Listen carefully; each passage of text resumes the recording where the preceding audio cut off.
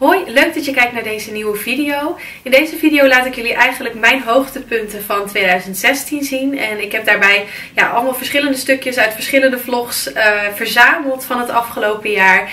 En dit zijn wel echt de momenten waar ik het meeste van heb genoten. En echt mijn hoogtepunten zoals ik al zei. Dus ja, ik hoop dat jullie het ook leuk vinden om te zien. En uh, ik wilde jullie bij deze ook nog eventjes heel erg bedanken voor het afgelopen jaar. Omdat ik mede dankzij jullie gewoon ja, best wel hard ben gegroeid en ik hoop dat ik volgend jaar ook natuurlijk heel veel mag groeien en heel veel leuke video's kan maken voor jullie.